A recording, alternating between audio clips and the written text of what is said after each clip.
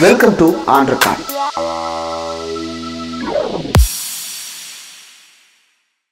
Welcome to ஆண்டர்கார்டு இன்றைக்கு நம்மோடு நேர்காணலுக்காக சிறப்பு விருந்தினராக ஓய்வு பெற்ற ஐஏஎஸ் அதிகாரி அரசியல் திறனாய்வாளர் திரு பாலச்சந்திரன் அவர்கள் இணைந்திருக்கிறார். அவரோடு பேசலாம். சார் வணக்கம். வணக்கம்ங்க. வணக்கம். சத்தீஸ்கர்ல இன்றைக்கு தேர்தல் தொடங்கி விட்டது முதல் கட்ட வாக்குப்பதிவு முடிந்திருக்கிறது. வாக்குப்பதிவு அறுபது சதவீதம் மூணு மணி வரைக்கும் நடந்திருக்கிறது. ஆனா இன்றைக்கு காலையிலேயே ரொம்ப அதிர்ச்சியான ஒரு செய்தி வந்தது. அங்க இருக்கக்கூடிய ஒரு மாவட்டத்துல குண்டு வெடிப்பு அதனால பிஎஸ்எஃப் ஜவான்ஸ் பாதிக்கப்பட்டிருக்கிறார்கள். இத எப்படி பாக்குறீங்க சார் தேர்தல் நடைபெறும் சூழல்ல குண்டு வெடிப்பு போன்ற விஷயங்கள் இதை எப்படி பாக்குறீங்க? அந்த இடத்துல வந்து நக்சல் இது இன்ட்ரூஷன் ரொம்ப அதிகம். பஸ்தார் டிவிஷன்ல வந்து. பல பேருக்கு தெரியாது பஸ்தார் டிவிஷன் முதல்ல வந்து ஒரு டிஸ்ட்ரிக்டா இருந்தது. ஒரு ஜில்லாவா இருந்தது. அதனுடைய ஏரியா வந்து கேரளா ஸ்டேட் ஏரியாவோட ஜாஸ்தி ஒரு முப்பது வருஷத்துக்கு. முன்னாடி அது அது ஒரு. ஜில்லாவா இருந்தது. அப்போ எப்படி ஒரு மாவட்ட ஆட்சியரோ ஒரு போலீஸ் சூப்பரண்டோ அவ்வளவு பெரிய ஏரியா வந்து இது பண்ண முடியும் என்னைக்கோ வந்து அதை வந்து பைஃபர்கேட் பண்ணியிருக்கணும் ட்ரைஃபர்கேட் பண்ணியிருக்கணும் அதுக்கப்புறம் பண்ணியிருக்காங்க அதுக்கப்புறம் இந்த மலைவாழ் மக்கள் வந்து ஒரு அரசியலமைப்பு சட்டத்தை பற்றியோ கல்வியறிவோ அதிகம் பெறாதவர்களாக இருந்த காலத்தில் அவர்கள் மேல் தொடுக்கப்படும் வன்முறைகளோ அவர்கள் மேல் நடத்தப்படும் எக்ஸ்பிளாய்டேஷனோ பொதுவாக அதிகமாக இருக்கும். எந்த இடத்துலையுமே வந்து. அந்த மாதிரியான சூழ்நிலை நிலவும். அப்போ அந்த மாதிரியான சூழ்நிலையில அந்த நேரத்தில் வந்து நக்சலைட்ஸ்கள் வந்து அங்க வந்து ஊடுருவினாங்க ஸோ இது ரொம்ப நாளா வந்து இந்த இந்த பிரச்சனை பிரச்சனை வந்து அங்க இருந்துகிட்டு இருக்கு. இன்னும் இன்னொன்னு என்னன்னா நக்சலைட்ஸ் முதல்ல நுழைஞ்சதுக்கு அப்புறம் முதல்ல மக்கள் நலனுக்குன்னு மட்டும்தான் நுழைவாங்க. அடுத்து வந்து எவ்ரிபடி டேஸ்ட் பவர் அந்த அதிகார வர்க்கம் உள்ளே நுழைய முடியாது. நம்ம தான் அதிகாரம்னு ஒரு ஏரியா இருந்ததுன்னா அந்த ஏரியாவை காப்பாற்றணும்னு சொல்லி ரொம்ப கவனமா இருப்பாங்க. இவ்வாறு பல்வேறு காரணங்கள்னால ஒரு நக்சலைட் மூவ்மெண்ட் வந்து ஆரம்பிச்ச நக்சலைட் மூவ்மெண்ட் முற்று முழுக்க அழிக்கப்பட முடியாததாக ஆகிவிடும். அப்ப இந்த நேரத்துல தங்களுடைய ஸ்ட்ரென்த்தை டெமான்ஸ்ட்ரேட் பண்றதுக்காக அவங்க இப்படி செய்வாங்கங்கிறது எதிர்பார்க்கக்கூடியதுதான். இதுவும் அரசாங்கம் அதை எதிர்பார்த்திருந்திருக்கும். அதனால அதுக்கு தகுந்த முன்னேற்பாடுகள் எடுத்திருப்பாங்க. எல்லா முன்னேற்பாடுகளையும் மீறி ஒன்றிரண்டு நிகழ்வுகள் இது மாதிரி நடந்துருது. இது வருந்தத்தக்கது. ஆனா அதையும் மீறி மக்கள் வந்து அறுபத்தோரு விழுக்காடு ஏறக்குறைய வந்திருக்காங்க மூணு மணிக்குள்ள. அப்படிங்கிறது வந்து ரொம்ப சிறப்பான ஒரு விஷயம். மூணு மணிக்குள்ள. அறுபத்தோரு விழுக்காடு வந்தோம்னா ஏறக்குறைய அஞ்சு மணி வரைக்கும் ஓட்டிங் இருக்கும்னு நினைக்கிறேன். அப்படி இருந்தாலும் இன்னொரு பத்து விழுக்காடு நம்ம எதிர்பார்க்கலாம். இன்னொரு. மினிமம் பத்து விழுக்காடு எதிர்பார்க்கலாம். இருபது விழுக்காடுங்க நல்ல நம்பர் இப்ப நீங்க ஏற்கனவே குறிப்பிட்டது போல அது வந்து ஏற்கனவே ஒரு அரசுக்கு அந்த பகுதி வந்து ஒரு சர்ச்சைக்குரிய ஒரு பகுதியாக தான் அரசின் கணக்குல இருக்கிறது. அது ஒரு பெரிய பகுதி. அங்க நக்சல் இயக்கங்கள் இருக்கிறார்கள். மக்கள் ஆதரவும் கூட ஓரளவுக்கு அவங்களுக்கு இருக்கு அப்படிங்கும் போது அந்த பகுதியின் மீது கண்காணிப்பு ரொம்ப அதிகமா இருக்கும். இப்ப இதே மாதிரி ஒரு சம்பவம் வந்து இப்ப கோயம்புத்தூர்ல ஒரு கோட்டைமேடு அப்படின்ற பகுதியில ஒரு கார்ல வந்து வைத்திருந்த பொருட்கள் வெடித்து சிதறிய போது தமிழ்நாடு பிஜேபி அதை வந்து இது வந்து இன்னொரு சம்பவம். இது நடக்கக்கூடியதுதான். பட் போலீஸ் கண்காணிப்போடு இருந்ததுனால உயிர் சேதம் இல்லாமல் காப்பாற்றப்பட்டது அப்படின்னு பிஜேபி எடுத்துக்கல. மாறாக தமிழ்நாடு இன்டெலிஜென்ஸ் ஃபெயிலியரா அதை வந்து போர்ட்ரே பண்ணாங்க. அப்ப இதை வந்து ஒரு சென்ட்ரல் இன்டெலிஜென்ஸ் ஃபெயிலியரா நம்ம பார்க்க முடியாதா சார் பார்க்க முடியும் சென்ட்ரல் இன்டெலிஜென்ஸ் ஃபெயிலியராகவும் பார்க்கலாம் ஸ்டேட் இன்டெலிஜென்ஸ் ஃபெயிலியராகவும் பார்க்கலாம். ஏன்னா ஸ்டேட் கவர்மெண்ட்டுக்கும் அங்கே வந்து ஒரு இன்டெலிஜென்ஸ் விங் இருக்கு. அப்படி சொல்லி நம்ம கண்டிப்பா பார்க்க முடியும். பிஜேபி வந்து அரசியல் பண்றாங்க. எதுக்கு எடுத்தாலும் அரசியல் பண்றாங்க. அந்த அந்த மாதிரி கீழ்த்தரமான அரசியல் வந்து நம்ம பண்ணவும் கூட அந்த மாதிரியான அரசியலை பத்தி நம்ம வந்து அதிகமா கவலைப்படவும் கூடாது. இப்ப இதுல வந்து. இப்ப ரெண்டாயிரத்தி பத்தொன்பது எலெக்ஷன்ல நம்ம சிஆர்பிஎஃப் ஜவான்கள் வந்து கொல்லப்பட்டார்கள் பார்டர்ல வந்து. கொல்லப்பட்ட போது எந்த காரணத்தினால் இவர்கள் கொல்லப்பட்டார்கள்? ராகுல் ஒரு வினா எழுப்புனதுக்கு இது தேச துரோகம். நம்முடைய ராணுவத்தை பத்தி நீங்க குறை சொல்றீங்கன்னு ஏகப்பட்ட இதை பேசி அவர் வாய் அடைச்சாங்க. ஆனா. இத்தனை வருஷத்துக்கு அப்புறம் சத்யபால் மாலிக் வந்து உண்மையை சொல்லியிருக்காரு. அவங்கள பஸ்ல அனுப்பியிருக்கவே கூடாது. அது வந்து ரொம்ப மோசமான area. I had recommended they should be taken by flight அதனால இது முழுக்க முழுக்க இன்டெலிஜென்ஸ் ஃபெயிலியர் அதுக்கப்புறம் நிர்வாக ஃபெயிலியர் அப்படின்னு சொல்லியிருக்காரு. சொன்ன உடனே பிஜேபி என்ன பண்ணாங்க? சத்யபால் மாலிக் வீட்டு- வீட்டுக்கு சிபிஐ அனுப்பிச்சிட்டாங்க. இதைத்தான். பண்ணுவாங்க இவங்க. அதே மாதிரி இதுல நீங்க சொல்றது கரெக்ட் தான். இந்த மாதிரி ஒரு இன்சிடென்ட் நடக்கும் பொழுது அதை நிச்சயமா இன்டெலிஜென்ஸ் ஃபெயிலியர்னு சொல்ல முடியும். ஆனா இன்னொன்னு சொல்றேன். அவ்வளவு பெரிய ஒரு கான்சென்ட்ரேட்டட் நாக்சலைட் ஏரியாவா இருக்கிற ஒரு இடத்துல ஒன்று ரெண்டு நிகழ்வுகளுக்கு மேல நடக்காம தடுத்துக்கிட்டதுங்கிறது மாநில அரசுடைய சாதனைன்னு தான் நான் சொல்லுவேன். இப்ப நாங்க. மேற்கு வங்கத்துல வந்து இந்த பாம் பொட்சேம்பாங்க. பாம்பு அடிக்கிறாங்கம்பாங்க சில ஏரியால அது சர்வசாதாரணம். ஆனா அவங்க. கொடுக்குற அந்த பாம் பொட்சேங்கிறது நம்ம சீன பட்டாசு இருக்குல்ல அதைத்தான் தூக்கி எறிவாங்க. அது அவங்க பாம் பாம்பாங்க. இதுல மேற்கு வங்கத்துல வந்து. அதை கூட மக்கள் விரும்ப மாட்டாங்க.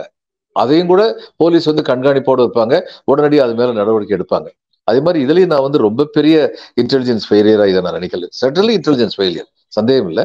ஆனா இன்னும் மிகப்பெரிய விளைவுகளை ஏற்படுத்தக்கூடிய அளவிற்கு வல்லமையாக நக்சலைட் இருக்கிற இடத்துல இந்த ரெண்டு ஸ்பொராடிக் இன்சிடென்ட்டோட போயிருச்சு அப்படிங்கிற அளவு நம்ம ஸ்டேட் கவர்மெண்ட் வந்து மெச்சத்தான் வேண்டும். மோடி இன்னொரு பக்கம் மற்ற மாநிலங்கள்ல தேர்தல் பிரச்சாரத்துல தொடர்ந்து ஈடுபட்டு இருக்கிறார் சார் அதுல குறிப்பா மத்திய பிரதேஷ் பகுதியில் இன்னைக்கு பிரச்சாரத்தில் ஈடுபடும் பொழுது என்னை அவமானப்படுத்துவதற்காகவே கட்சி நடத்துகிறார்கள்ன்ற மாதிரி எல்லாம் பேசியிருக்கிறாரு. என்னை அவமானம் இப்பயும் என்னை அவமானப்படுத்திட்டு தான் இருக்கிறாங்க. என்னை வந்து மோசமாக பேசுகிறார்கள் அப்படின்னு மக்கள் மத்தியில பேசியிருக்கிறாரு. கடைசியா நம்ம இதே டாபிக்ல கர்நாடகால மோடி இதே வசனத்தை சொன்ன போது நம்ம அதை பத்தியும் பேசியிருந்தோம். இப்ப மோடி மறுபடியும் ரிப்பீட் பண்றாரு. எப்படி பாக்குறீங்க? மறுபடியும் ரிப்பீட் பண்றாரு. எலெக்ஷனும் அதே மாதிரி ரிப்பீட் ரிசல்ட்டா வந்தா அது செய்வாங்க அவ்வளவுதான். இந்த நாட்டுடைய பிரதம மந்திரி அவரை யாருங்க கேவலப்படுத்தி பேசிட்டார்? நேரு காந்தி ம். ஃபேமிலி இவங்க கேவலப்படுத்தாததா? எந்த அளவுக்கு. கீழ்த்தரமா இவங்களுடைய ஐடி விங்க வந்து எழுதுனாங்க? அல்லது உதயநிதி வந்து சனாதனம் ஒழிக்கப்பட வேண்டும்னாரு இந்துக்களை எல்லாம் கொல்லணும்னு சொல்லி ஸ்டாலின் மகன் பேசுறாருன்னு சொல்லி அவங்களுடைய அபிஷியல் ஐடி விங்ல எழுதுனாங்க. அந்த ஆள் மேல பிஜேபி கட்சி ஏதாவது நடவடிக்கை எடுத்ததா? அல்லது பெரியாருடைய சிலையை உடைக்கணும்னு சொல்லி ஒரு பிஜேபி தலைவர் தமிழ்நாட்டுல ஒருத்தர் சொன்னாரு. சொல்லிட்டு அதுக்கப்புறம் ஜகா வாங்கிட்டாரு. எனக்கு தெரியாம என் ஆள் அது போஸ்டிங் போட்டான் அப்படின்னு சொல்லிட்டாரு. ஆனா அதை பத்தி அவங்க கண்டி கண்டிச்சாங்களா? இவங்களுக்கு என்ன பெரிய அரசியல் நாகரிகம் இருக்கு? அதனால இவர் வந்து த இந்த ஒப்பாரி எல்லாம் பிரதமர் வைக்க வேண்டியதில்லை. இவரை யாரும் அப்படி தனிப்பட்ட முறையில தாக்கல. இது வரைக்கும். இதுதான் உண்மை. அவருடைய தனிப்பட்ட வாழ்க்கை பத்தி யாராவது பேசியிருக்காங்களா? ஆனா இவர் பாரத் ஜோடோ யாத்ரால வந்து ராகுல் காந்தி வந்த பொழுது ஒரு பெண் குழந்தை வந்து அவரை கட்டி பிடிச்சுக்கிடுச்சு. அது ரொம்ப கீழ்த்தரமா எழுதியிருந்தாங்க. யாருன்னே தெரியாம. அவருடைய தங்கை பெண்ணு பிரியங்காவுடைய பொண்ணு தன்னுடைய தாய்மாமன் பார்த்த உடனே இவ்வளவு பிரபலமா தாய்மாமன் வரும் சந்தோஷத்துல கட்டி பிடிக்க மாட்டாங்களா? யார் என்னன்னு விவரம் தெரியாம கீழ்த்தரமா எழுதுனவங்களை வந்து இந்த கட்சி ஏதாவது கண்டிச்சதா? இவங்களுக்கெல்லாம் வந்து இதை பத்தி தரத்தை பத்தி பேசுறதுக்கு அருகதையே கிடையாது. இதுதான் உண்மை. இந்த பத்து. ஆண்டுகள்ல வந்து அரசியல் அரசியல்ல எப்பொழுதுமே தரந்தாழ்ந்த நிகழ்வுகள் நடக்கும். ஸ்பொராடிக்கா நடக்கும். ஆனா திட்டமிட்டு நடத்துனதுங்கிறது இவங்க தான் இவங்களுக்கு என்ன. அருகதை இருக்கு? மத்தவங்களை பத்தி பேசுறது. நீங்க ஒரு வார்த்தை சொன்னீங்க சார் ஒப்பாரி அப்படின்னு சொன்னீங்க. பொதுவா ஒப்பாரி அப்படின்றது வந்து ஒரு பெரிய இழப்புக்கு பிறகு நிகழ்த்தப்படுவது. தனிப்பட்ட முறையில மோடி அவர்கள் எதையும் இழந்து விடவில்லை. ஆனா இந்த இந்த பேரழுகை அல்லது ஒப்பாரி அப்படின்றது வந்து எதை மையப்படுத்தியதா இருக்குன்னு நினைக்கிறீங்க? அவர் அவ்வளவு வல்னரபிளாவும் அவ்வளவு கான்பிடன்ஸ் இல்லாமலும் இருக்கிறாரா? இல்ல அப்படி நான் நினைக்கல. அவரு கான்பிடன்ஸோட இருக்கிறாரு. ஆனா ஆஹ், மக்கள்கிட்ட வந்து சிம்பத்தி ஃபேக்டர் கொண்டு வரலாம்னு சொல்லி பாக்குறாரு அதுக்காக வேண்டி இப்படி சொல்றேன் ம், இவங்க சொல்றது எதையுமே வந்துங்க எந்த குற்றச்சாட்டு சொன்னாலும் அதுக்கு ஆதாரம் காமிக்க மாட்டாங்க. இப்ப இவர் வந்து நம்ம ஆளுநர் வந்து என்ன சொன்னாரு? தமிழக கல்வித்தரம் ரொம்ப தாழ்ந்து போயிருச்சு. முதல் நூறு இடங்கள்ல ஒருத்தன் கூட இல்லைன்னாரு. அடுத்த நாளே உயர்கல்வித்துறை அமைச்சர்னு சொன்னாரு. என் பிரசிடென்சி காலேஜும் லோயலா காலேஜும் உங்க கண்ணில் தெரியலையா? தேர்ட் அண்ட் ஃபிஃப்த் பிளேஸ்ல இருக்காங்களே. ஐஐடி சென்னை வந்து தொடர்ந்து முதலிடத்துல இருக்கு. மேலாண்மை கல்வி கற்றுத்தருகிற பல நிறுவனங்கள் நம்ம எம்பிஏ சொல்லிக் கொடுக்குறவங்க இங்க வந்து முதல் நூறு இடங்களுக்குள்ள இருக்காங்களே. அப்படின்னு இவர் சொன்னாருன்னா அதுக்கு ரவி பதில் சொல்ல மாட்டாரு. பதில் சொல்லாம ஓடி போயிருவாங்க. இது ஒரு கீழ்த்தரமான அரசியல். இப்ப அதைத்தான். பிஜேபி பண்ணிட்டு இருக்காங்க இப்ப இவர் பிரதம மந்திரி இப்படி சொல்றாரு. ஹி ஷுட் சப்ஸ்டான்ஷியேட் எந்த இடத்துல அவங்களை. வந்து கேவலப்படுத்திட்டாங்க பிரதம மந்திரியா? அதை அவர் சொல்லணும். ஓகே. இப்ப இந்த கேவலப்படுத்துதல் இப்படின்றத வச்சுதான் பிரச்சாரம் தொடர்ந்து நகர்ந்து கொண்டிருக்கிறது. கூடுதலா ராமர் ராமர் கோயில் கட்டுதல் அப்படின்ற அந்த விவகாரத்தையும் கூட இப்ப தேர்தல் பிரச்சாரத்துல அமித்ஷா உள்ளிட்டவர்கள் பேச தொடங்கி இருக்கிறாங்க சார். ராஜஸ்தான் போன்ற பகுதிகளில் பேசும் பொழுது ராமர் கோயிலை மையப்படுத்தி காங்கிரஸை ஆஹ், நிறுத்தி சில விஷயங்களை பேச தொடங்கி இருக்கிறாங்க. இது அவங்களுக்கு கை கொடுக்குமா? ஒரு பக்கம் மோடியினுடைய சிம்பத்தி அது ரிசல்ட்டை நம்ம கர்நாடகால பார்த்துட்டோம். ஆனா அந்த ராமர் கோயில் விவகாரம் அது ரொம்ப நாரத்துல சென்சிட்டிவா கருதப்படுவது அது அந்த மக்கள் மத்தியில என்ன மாதிரியான தாக்கத்தை ஏற்படுத்தும்? போல்போன் ரீஜியன்ஸ்ல அதனுடைய பாதிப்பு என்னவா இருக்கும் சார் இல்ல தாக்கம் ஏற்படுத்தும் ஆனா இவங்க நினைச்ச அளவுக்கு தாக்கம் ஏற்படுத்துமாங்கிறது சந்தேகம். ஏன்னா ராமர் கோயிலே ஊழல் நடந்துச்சுன்னு சொல்லிட்டு சிஏஜி சொல்லியிருக்காரு. இல்லையா? சிஏஜி அறிக்கையில சொல்லியிருக்காரு. சிஏஜி அறிக்கையில சொன்னாங்களா? அல்லது அதுக்கு முன்னாடி வந்து நியூஸ் வந்ததா? அந்த நிலம் கைமாறினது வந்து ரொம்ப பெரிய ஊழல் நடந்ததுன்னு ஒரு நியூஸ் வந்தது.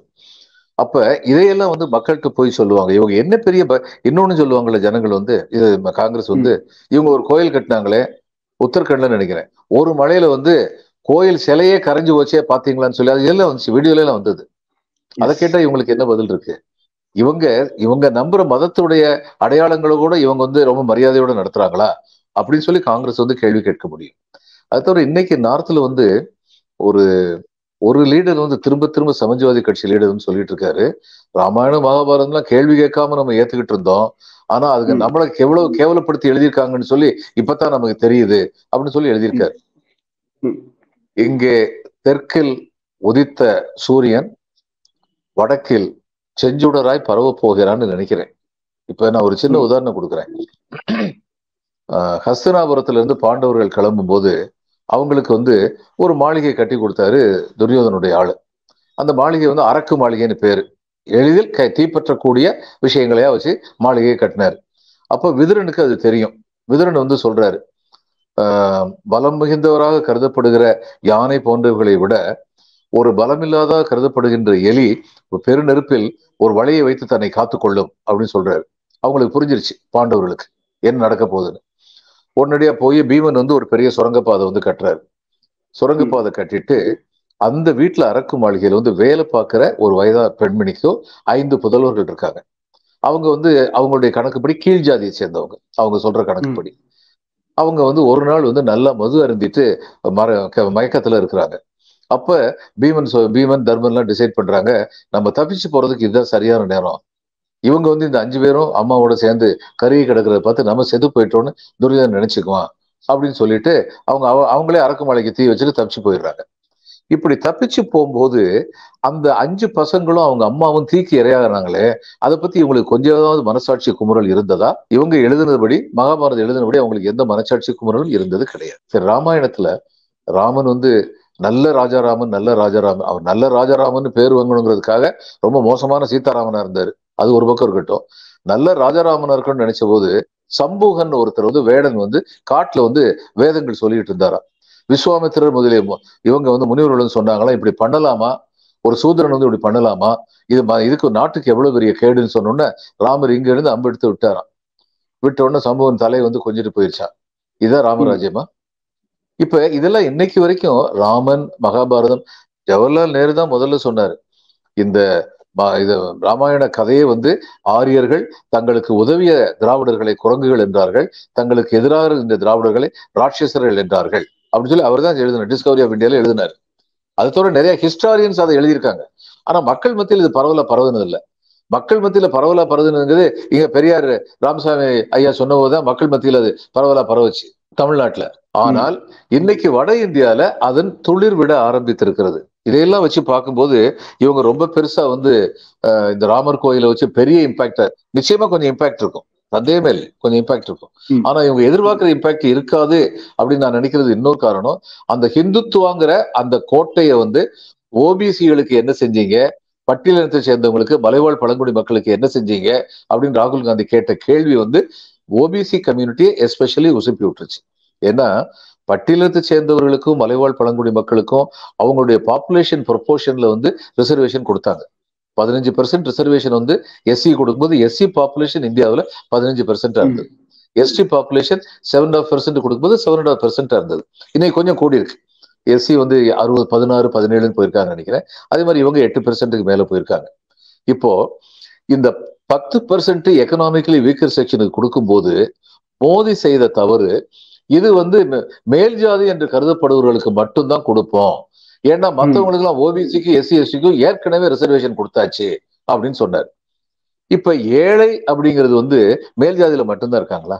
எக்கனாமிக்கலி வீக்கர்னா எல்லாருக்கும் அப்ளை பண்ணியிருக்கணும். இவங்க அப்படி பண்ணாம விட்டதுனால என்ன வந்தது? என்ன வந்ததுன்னா மேல் ஜாதின்னு இவங்க சொல்றவங்க ஏறக்குறைய பத்துல இருந்து பதினஞ்சு பெர்சென்ட்டுக்குள்ள இருக்காங்க இந்தியால.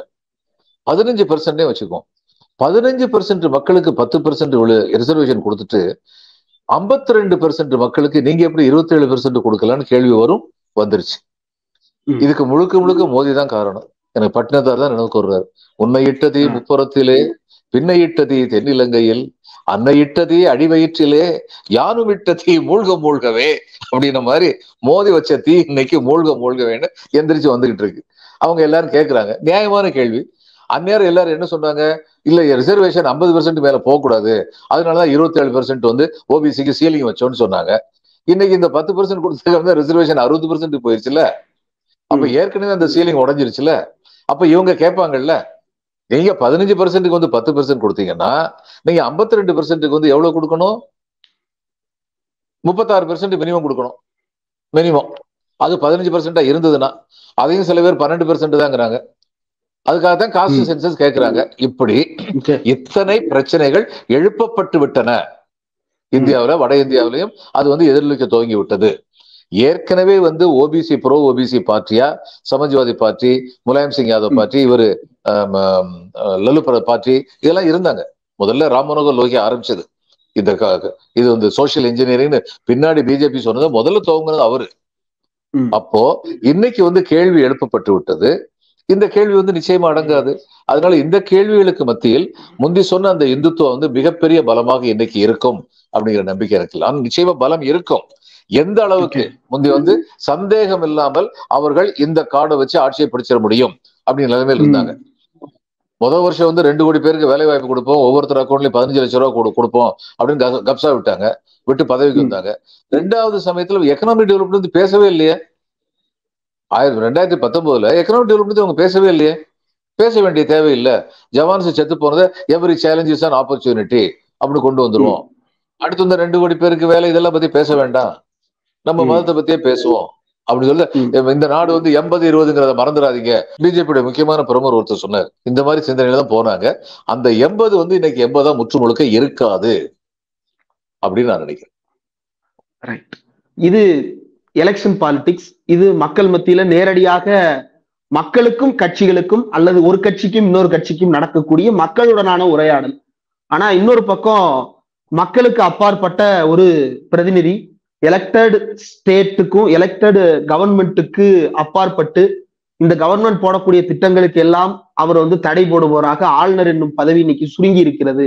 பொலிட்டிக்கல் மோட்டிவோட இருக்கிறாரு அப்படின்னு சொல்லிட்டு தமிழ்நாடு தெலுங்கானா கேரளா பஞ்சாப் உள்ளிட்ட பல்வேறு மாநிலங்கள் உச்சநீதிமன்றத்துல வழக்கு தொடர்ந்து இருக்கிறார்கள் நேற்றைக்கு பஞ்சாப் குறித்தான அந்த வழக்கு விசாரணைக்கு வந்தபோது சந்திரசூட் அவர்கள் உங்களை நீங்களே எலெக்டட் ரெப்ரசன்டேட்டிவ்ஸுக்கு மேலன்னு நினைச்சுக்கிடாதீங்க. உங்களுடைய லிமிட்டை தெரிஞ்சு நீங்க நடத்துக்குங்க அப்படின்னு சொல்லிட்டு ஆளுநர்கள் குறித்து ஒரு ஓரல் அப்சர்வேஷன் அவர் கொடுத்திருக்கிறாரு. வெள்ளிக்கிழமை தான் முழுமையான விசாரணை நடைபெற போகுது. ஆனா அவர் கொடுத்திருக்கிற அந்த அப்சர்வேஷன் அதை நீங்க எப்படி பாக்குறீங்க சார்? ஒரு படத்துல வடிவேலு கிட்ட பஞ்சாயத்து போர்டு பிரசிடென்ட் சொல்லுவாரு. ஏற்கனவே அவனுங்களுக்கும் நமக்கும் இடையில வரப்பு தவிர இந்த வேளையில நீ வேற ஏன்டா இதெல்லாம் பண்ணிக்கிட்டு இருக்கேன் பாரு. இப்போ ஒன்றிய அரசுடைய தலைமை பதவியில் இருக்கிறவங்க பொறுப்பானவங்களா இருந்தாங்கன்னா என்ன சொல்லியிருப்பாங்க? ஏற்கனவே நம்ம ஆளுங்கிறது வாய்ப்பு இல்லாம அவங்க ஆளுறத பிடிச்சிருக்காங்க சட்டமன்றத்தை பிடிச்சிருக்காங்க. இந்த நேரத்துல நீ வேற ஏன்பா சிக்கலை கிளப்புறன்னு கேட்கணும். ஆனா சிக்கலை கிளப்ப சொல்றதே அவங்க தான் நினைக்கிறேன். அந்த தைரியத்துல இவங்க இவ்வளவு தூரத்துக்கு பேசுறாங்க. ஏன்னா மேற்கு வங்கத்துல எவ்வளவு சிக்கல் கிளப்ப முடியுமோ அவ்வளவு சிக்கல். நான் unconstitutionally not in accordance with law governor வந்து. கிளப்பினாரு. என்ன ரிசல்ட் அவர் வைஸ் பிரசிடென்ட் ஆயிட்டாரு. மத்தவங்களுக்கும் அந்த ஆசை இருக்கும்.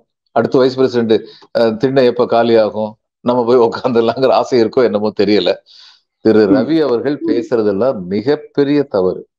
அவர் வந்து செயல்ற அவருடைய செயல்கள் வந்து மிகப்பெரிய அன்கான்ஸ்டிடியூஷனல் அவர் சொல்ல முடியாது எனக்கு என்ன டைம் லிமிட் கொடுத்துருக்காங்களான்னு.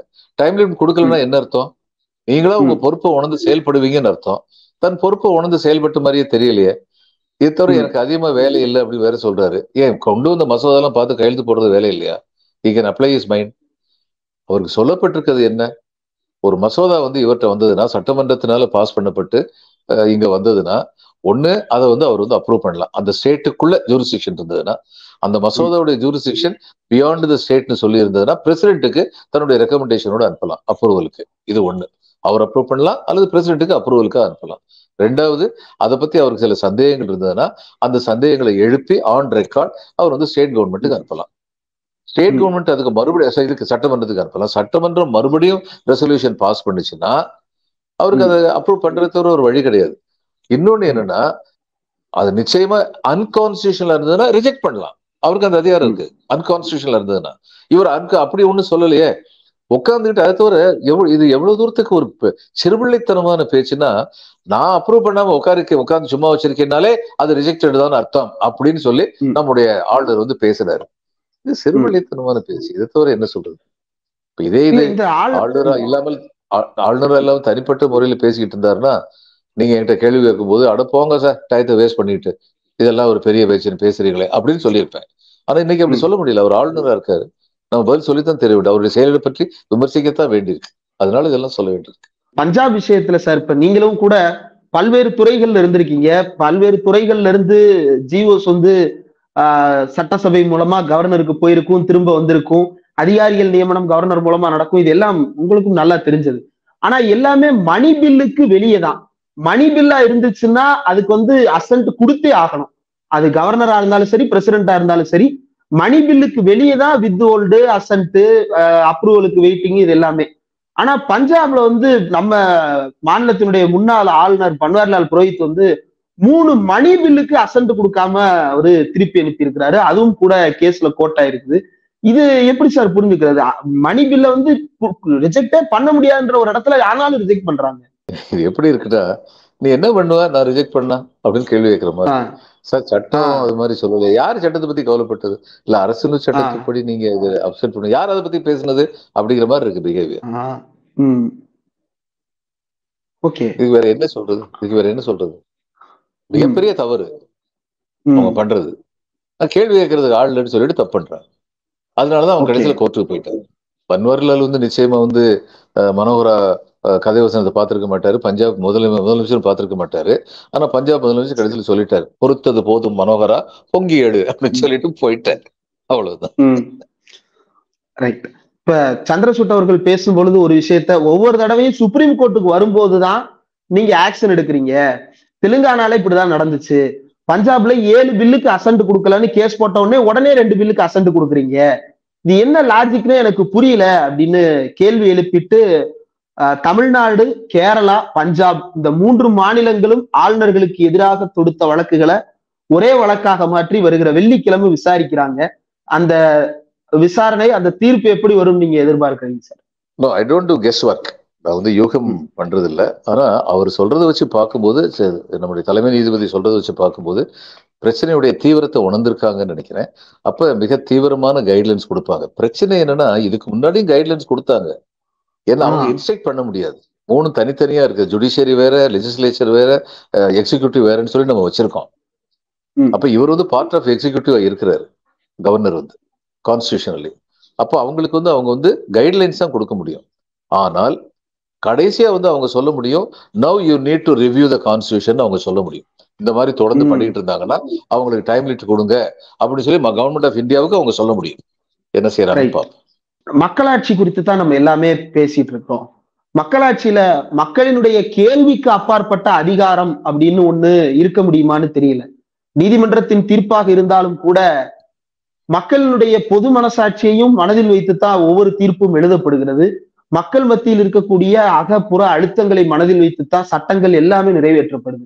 ஆனா ஒரு அதிகாரம் அல்லது ஒரு அதிகார பீடம் அரசமைப்பு சட்ட ரீதியாக கொடுக்கப்பட்டிருக்கிறது. ஆனா அது unquestionable even from legislature even from judiciary even from parliament not by the people அப்படின்னு யாருடைய கேள்விகளுக்கும் பதில் சொல்ல தேவையற்ற ஒரு அதிகாரம் அப்படின்ற ஒண்ண வந்து நீங்க எப்படி பாக்குறீங்க சார் இந்த அதிகாரம் வந்து அரசியலமைப்பு சட்டத்தை எழுதும் போது அந்த நேரத்துல மாநிலங்கள் எப்படி ரியாக்ட் பண்ணுவாங்க இந்தியன் யூனியனுக்கு அப்படின்னு சொல்லி அவங்களுக்கு வந்து ஊகிக்க முடியல. உறுதியா சொல்ல முடியல. அதனால என்ன நினைச்சாங்கன்னா இப்ப ஏதாவது ஒரு மாநிலம் வந்து திடீர்னு சொல்லி அந்நேரம் வந்து மாநிலங்கள் வந்து இந்தியாவிலிருந்து தனித்து போகலாம் சட்டப்படி. தனித்து போகலாம். மாநிலங்கள் வந்து பிரிவினை கோருவதற்கே எதிரான தடை சட்டம் வந்து பின்னாடி தான் போட்டாங்க. முதல்ல கிடையாது. அப்ப அவங்களுக்கு ஒரு பயம் என்ன இருந்ததுன்னா இந்தியன் யூனியன்ங்கிறது காப்பாற்றப்பட வேண்டும். அப்படின்னா மாநிலங்கள் வந்து இப்ப ஒரு சட்டமன்றம் வந்து திடீர்னு ஒரு தீர்மானம் போட்டாங்க நாங்க இந்தியாவிலிருந்து தனியா போறோம்னு தீர்மானம் போட்டாங்க அப்ப என்ன ஆகும்? அல்லது எகெயின்ஸ்ட் கான்ஸ்டியூஷன் வந்து அவங்க வந்து சட்டம் போட்டாங்க. அப்ப என்ன ஆகும்? அப்ப இதுக்கு வந்து நம்ம வந்து இதுல இருந்து சென்ட்ரல் கவர்மெண்ட்ல இருந்து ஒரு பிரதிநிதி அனுப்பி வச்சு கண்காணிப்போம். உண்மை அதுதான். கண்காணிப்போம். தீர்மானிச்சாங்க. ஏன்னா அன்னைக்கு வந்து மாநிலங்களை பற்றி அன்னைக்கு எல்லாருமே வந்து இந்தியா ஒரு நாடாக இருக்க வேண்டும் அப்படிங்கறதுதான் மிக மிக முக்கியமான ஒரு கேள்வியாக எல்லாரும் முன்னாடி இருந்தது. அப்ப மாநிலங்களை பற்றி ஒரு தெளிவில்லாத நிலைமை அன்னைக்கு இருந்தது. ஆனா இன்னைக்கு என்னன்னா மாநிலங்கள் வந்து சொல்ற அளவுக்கு இந்திய ஒருமைப்பாடை பத்தி சொல்ற அளவுக்கு ஒன்றிய அரசு சொல்ல மாட்டேங்குது. இப்ப அப்படி நிலவு தலையீடா மாறிடுச்சே அப்ப ஒன்றிய அரசுக்கு யார் வந்து கடுவாளம் போடுவாங்க? அதனால நீங்க கேட்கிற கேள்வி சரியானது. அந்த காலகட்டத்தில் ஏற்படுத்தப்பட்ட ஒரு ஏற்பாடு என்பது இன்று உள்ள காலகட்டத்தில் அரசியலமைப்பு சட்டத்திற்கே விரோதமான போக்கினை ஏற்படுத்தி கொண்டிருக்கிறது. மக்களால் தேர்ந்தெடுக்கப்பட்ட அரசுக்கு மரியாதை கொடுக்காத ஒரு நிலையை ஏற்படுத்தி கொண்டிருக்கிறது பார்க்கும்போது I think we have to review that aspect of the constitution உண்மைதான்.